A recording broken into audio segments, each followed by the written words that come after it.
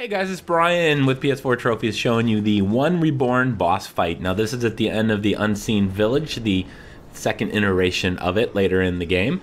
And uh, this is the, uh, not the most difficult fight, but it is difficult unless you go upstairs and defeat the six mages that are up there. So when you start this fight, go to the back right or back left corner and take the stairs up and there's going to be a bunch of mages. Now these guys would normally throw fireballs at you if you go down there and just try to defeat the boss.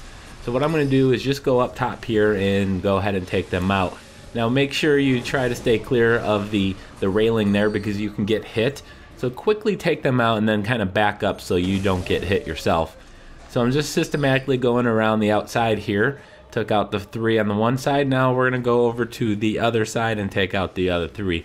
That will make the rest of this fight very easy, at least relatively easy. So we got one here, and we're going to have one just up these stairs here.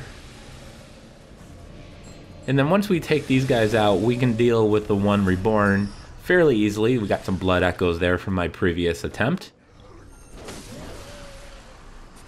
Alright, so now that we're done ki killing all of them, we can go back downstairs and the one reborn doesn't have a lot of huge damage dealing uh, abilities. He does have a couple area effect things that will will knock your health down pretty good. So if that does happen, just back up and then use your healing potions. Now I'm just kind of going in the center here and dealing as much damage as I can. When he uh, when you do enough, he'll he'll be stunned. He'll fall to the ground.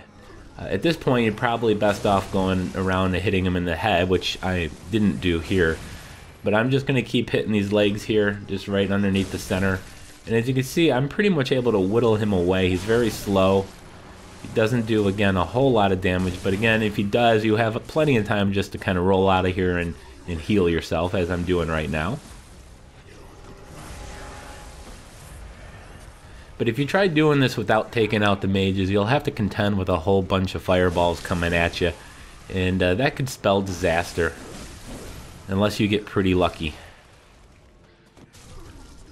So I'm just kind of sitting back here behind him and on the side. He's got kind of two ends.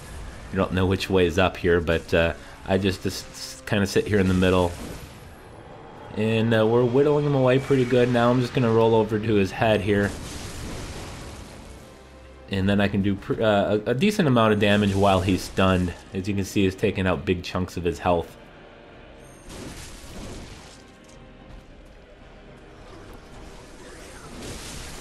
And looks like he just needs one more good whack here and he'll be dead. And we'll also get the trophy called the One Reborn as well when, once he's dead. So his prey is slaughtered. That is a very welcome screen right there. So there's the trophy. Now in this area, there's also a lantern, of course, as there is in all the boss areas. So you want to make sure you activate that. And then if you go up these stairs and just continue on in the story path, we're actually going to get one more trophy.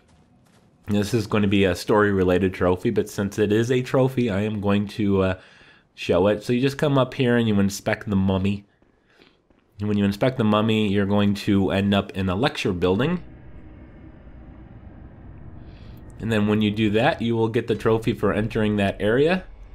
And I want to thank you guys for watching. If you found the video helpful, please like, comment.